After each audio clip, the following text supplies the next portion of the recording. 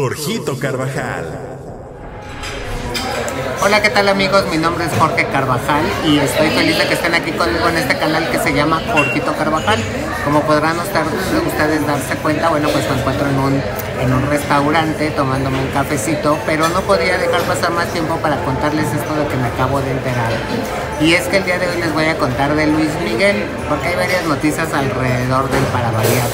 La primera de ellas, y que me, acaba de llegar eh, directita de Estados Unidos, pues es que resulta que aparece una mujer que se llama Tania eh, y que dice haber sido novia de Sergio Gallego Basteri. Y entonces ella asegura, fíjense nada más lo que asegura, que cuando ella fue novia de, de Sergio Gallego, que eso fue hace como 10 años aproximadamente, que en alguna ocasión Sergio Gallego la comunicó vía telefónica con Marcela Basteri, es decir, con su mamá, que estaban hablando ellos por teléfono, y le dijo, ay, mira, te voy a presentar a mi novia, le pasó a Tania, y hablaron, y, que muy bien la señora, y que muy linda, y que, ay, sí, yo le cuido a su hijo, y que no sé qué tanta historia, ¿no? Pues quiero decirles que esto es completamente falso, falso de parte de esta mujer que se llama Tania, y les voy a contar un poquito de la historia de esta mujer. Resulta que sí, efectivamente, en algún momento Tania y Sergio Gallego fueron novios. De hecho, fue en aquel momento en el que Sergio tendría que unos 20 años, por ahí más o menos, y él trabajaba en un bar de allá de, Guadalajara, eh, de Zapopan, más bien dicho, del área de Zapopan, ahí trabajaba en ese bar, él, era mesero, y entonces conoció a esta, a esta muchachita porque una de las primas de ella trabajaba en el mismo lugar, entonces ahí es donde se conocen y empiezan a tener una relación. Eh, en aquel tiempo, Sergio siendo bastante jovencito, bueno, empieza a convertirse en un, en un chamaco pues un poco rebelde, digámoslo así, y obviamente además clavado con la novia y demás, pues lo que nos pasa a todos, empezamos a ser como un poquito groseros y demás, y esto le pasó con el doc, con Octavio Fonserrada, eh, el doc que siempre estuvo desde, desde chiquito, lo ha cuidado y lo ha tenido a su lado. El caso es de que llegan a tanto los problemas entre ellos que en algún momento Sergio decide agarrar sus cositas e irse de la casa donde vivía con el doc y se sale y entonces le habla a la novia y le oye, para ahora para dónde me voy, que ya no tengo dónde vivir y demás. Entonces Tania, esta chamaquita, habla con una de sus tías que le decían, eh, no sé si todavía viva, pero le decían Doña Chuy. Eh, y doña Chuyita, para ser exactos. Bueno, Chuyita le renta una de las habitaciones de su casa ahí mismo en Zapopan, en una calle que se llama la calle Bogotá, para que no me vengan a decir que lo que estoy diciendo no es cierto. Y entonces eh, ahí llega a vivir Sergio Gallego, una habitación normalita, una camita, muy chiquito, todo, y ahí vive con ellas. El caso es de que eh, yo en aquellos años, después de que ya Sergio Saavedra y que duró muy poquito tiempo, como tres meses, cuatro meses vivió ahí, y se fue justamente porque Tania, su novia en ese momento, empezó a contar historias a la prensa. Empezó a revelar dónde estaba Sergio y demás, y entonces la prensa pues empezó a enterar de cosas. Eso no le gustó a Sergio, termina la relación y se va. Posteriormente llego yo a entrevistar a doña Chuyita y a la familia alrededor, ¿no? Incluida Tania. Y en ese momento Chuyita, esta señora que aparte muy amable ya una señora de edad eh, soltera, me cuenta que en muchas ocasiones Sergio Gallego la pasaba bastante mal porque eh, se ponía muy triste, muy, muy depresivo y le daba por agarrar una guitarra, tocar y cantar y que cantaba muy bonito. Ella es la primera que a mí me revela que Sergio Gallego cantaba y que cantaba muy bien, que incluso cantaba mejor que Luis Miguel.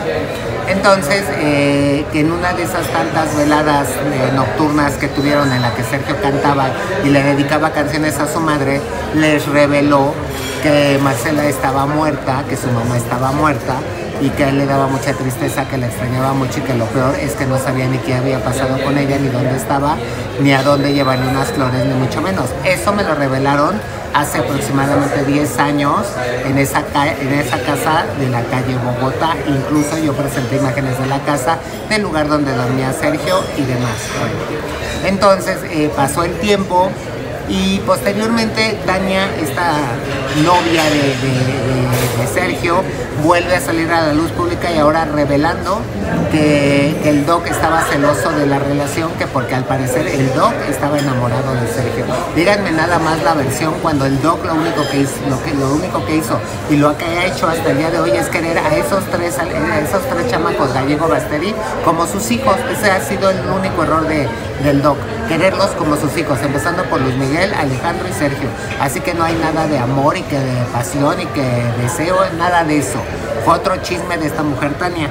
Pero ahora que venga a decir que Sergio la comunicó vía telefónica con Marcelia, ya es, ya es querer fregar y ya es querer nomás sacar dinero y querer estar en, en los reflectores, cosa que no se va. Pero no es la única, porque después de, todo este escándalo que ha surgido alrededor de Marcela Basteri, que si está viva o está muerta, pues también el periodista argentino Luis Ventura, que fue eh,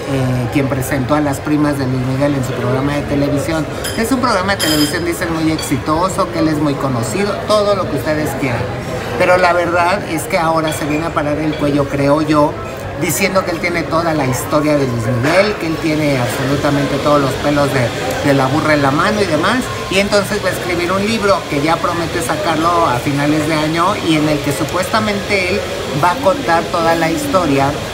de Luis Miguel, de Luisito Rey y de Marcela Basteri. Entre las muchas historias que dice que va a contar es que eh, Luis Rey y Marcela Basteri eran una pareja swinger, que no es como se presentó en la serie de que Luisito obligaba ciertas cosas a Marcela Basteri, sino que según él era una pareja que estaba eh, común de acuerdo en hacer ciertas cosas con otras parejas o con otras personas, hombres o mujeres, para tener sexo muy a gusto y muy libremente. Entonces, según él, eh, eso lo va a presentar. Y además asegura que va a hablar de la, de la vida sexual de, Luis Miguel, es decir, que si es eh, gay, bisexual, heterosexual, o que si le entra lo que le pongan, o heteroflexible, o lo como le quieran llamar, él lo va a contar porque además asegura que él lo sabe.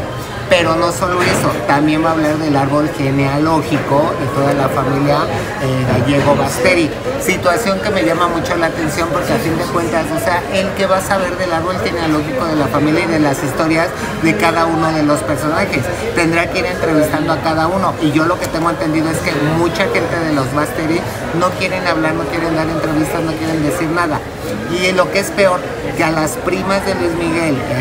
a, Ivana y Flavia, que son las que empezaron toda esta revolución de la búsqueda de Marcela Basteri, pues ellas las hicieron a un lado y ahora el Luis Ventura pues va a hacer su libro, ya, de hecho ya cerró con una editorial allá en Argentina, ya le dieron su dinerito, su adelanto y entonces feliz de la vida, mientras que estas chamacas que están buscándola porque realmente les interesa saber si es o no su tía, porque así lo quieren saber en la familia, pues ellas no están ganando nada. Y si no es la no es Marcela pues ya está ahí se quedó yo creo la historia porque con qué se mueven para seguir una investigación o con qué dinero se mueven para contratar uno, unos investigadores que la hagan no entonces bueno el caso es de que aquí cada quien se está aprovechando de lo que quiere cada quien está viendo por sí mismo nadie en realidad se está preocupando por encontrar a Marcela Basilio saber qué pasó con ella eh, como debe de ser más que más que las primas o la familia cercana a Marcela Basteri que son los únicos que les pudiera interesar porque ni Luis Miguel, ni Alejandro, ni Sergio, ni nadie, yo creo que les interesa o ya saben mucho, que, pues les da exactamente lo mismo lo que se haga, ¿no? Y no solo eso, hablando ya y siguiendo y para terminar con Luis Miguel, pues ahora también Hannah la, la, que fue novia de él, que ustedes recordarán que esta muchachita, bastante guapetona por cierto, anduvo con él eh, en varios lugares, principalmente cuando Luis Miguel fue a grabar a San Miguel de Allende su, su videoclip de, del último tema que, que dio a conocer. Bueno, pues esta muchachita andaba muy pegado con él. Esta niña vive en San Diego, California, eh, se maneja dentro de la política, principalmente en la mexicana, muy amiga del presidente de México, Enrique Peña Nieto, y, este, y según ella, bueno, es filántropa y, filántropa y además eh, tiene muchísimas carreras, ¿eh? porque eh, así si ven ustedes su currículum, bueno, creo que cada dos horas le entregan un título, una carrera, otra carrera, otra carrera, un doctorado, una maestría, una, bueno, tiene muchísimo. Pero el caso es de que fíjense que, eh, pues aprovechando, miren, que tiene todas esas carreras, que además es de San Diego, pero que además es amiga de Peña Nieto, pero que además eh, fue novia de Luis Miguel y, que además es muy guapa y además es socialite, bueno, pues ahora también la vamos a ver el próximo mes, a partir del 28 de septiembre, en esta serie de Netflix que se va a llamar Made in México, que de verdad yo no sé qué, qué será de eso, no tengo idea si va a estar buena o mala, pero que flojera me da, porque va a tratar sobre los eh, nueve, creo, nueve u ocho socialites mexicanos supuestamente para ver la vida que llevan, las extravagancias, los lujos, los paseos, los no sé qué, pero sin hablar de escándalos, ¿eh? que, que yo creo que sería lo interesante. Entonces, bueno, esta Hanna pues va a aparecer en, esto. Lo que me llama mucho la atención es que yo creo que no encontraron muchos socialites en México porque eh, está, por ejemplo, este Pepe Díaz, que fue eh, novio de Belinda, novio de Ninel Conde, que tiene eh, antros que se llaman Clásico, eh, que estuvo en la cárcel por evasión fiscal. Está Shanik Aspe, que yo no sé Shanik si realmente sea socialité o para mí es una conductora guapa y hasta ahí, ¿no? Pero no sé si sea socialité en su natal Acapulco, sabrá Dios. Este, y hay otros personajes que la mayoría son de Estados Unidos, fíjense. Entonces no entiendo cómo, cómo que Made in México, cuando en realidad se van a basar mucho en gente que nació en Estados Unidos y no precisamente en México. Pero bueno, esperemos esta serie de Netflix y ya veremos cómo le va. Por lo menos el día de ayer quiero decirle que las redes sociales se la acabaron, porque nadie entiende qué, qué van a presentar, nadie entiende qué va a pasar, nadie entiende por qué venir a hablar de eso en México cuando lo menos lo que menos hay es sociedad, lo que menos hay glamour, lo que menos hay elegancia y lo que menos hay es dinero. Entonces, bueno, pues así están las cosas, pero finalmente todo mundo vuelve a lo mismo, simple y sencillamente se agarra de la fama y del prestigio de Luis Miguel y van acomodándose en ciertos lugares y ganando muchísimo dinero. Así que bueno, eh, vamos a ver nosotros como de qué nos colgamos de Luis Miguel y pues luego ya les contaré. Mi nombre es Jorge Carvajal y bueno, pues los espero aquí en otro programa de Jorgito Carvajal y los invito a que vean el show porque también ahí en Productora 69 les contamos hoy novedades sobre eh, esta demanda que interpuso Flor Rubio a Juan José Rigel hace tiempo y ahí les vamos a dar detalles de realmente cómo estuvo la movida, la traqueteada, la ahí y este y cuánto ganaron por ese material donde se escucha la voz de Juan José Rigel, así que no se lo pierdan. Mi nombre es Jorge Carvajal, los dejo que tengan bonito día, bonita tarde o bonita noche según donde se encuentren en este mundo. Gracias y hasta mañana. Jorgito Carvajal.